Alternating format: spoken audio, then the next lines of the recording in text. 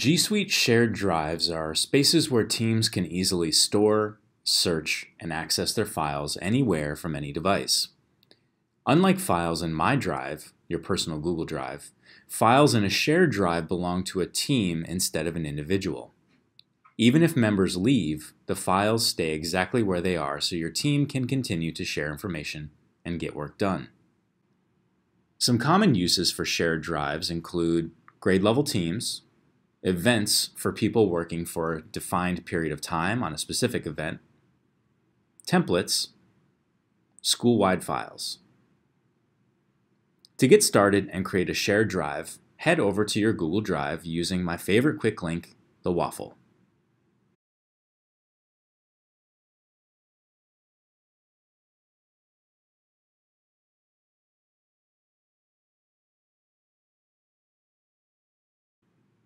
Once there, on the left navigation panel you will see My Drive and Shared Drives.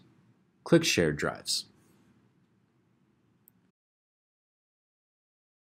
Click the button to create a new drive and name it.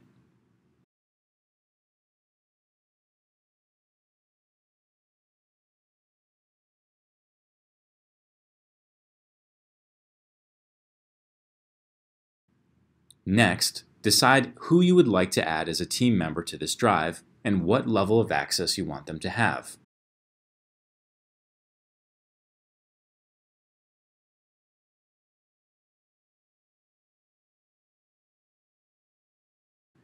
Levels are listed in descending order of access, starting with a manager, who can add and remove content, add and remove members, and change levels of access for other members. Content managers are restricted to adding, editing, moving, and deleting files, while contributors may only add and edit files without the ability to move or delete. In most use cases, shared drives should add members as content managers.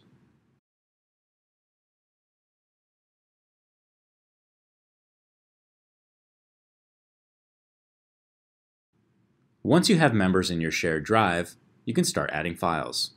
You can either create or upload new files in the drive directly, or migrate files from your My Drive to the new shared drive by dragging and dropping.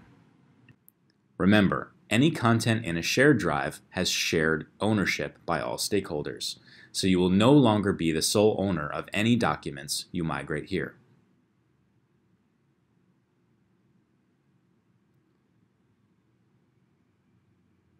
All in all, shared drives are a great tool to use as a team, as a department, or as a particular grade level.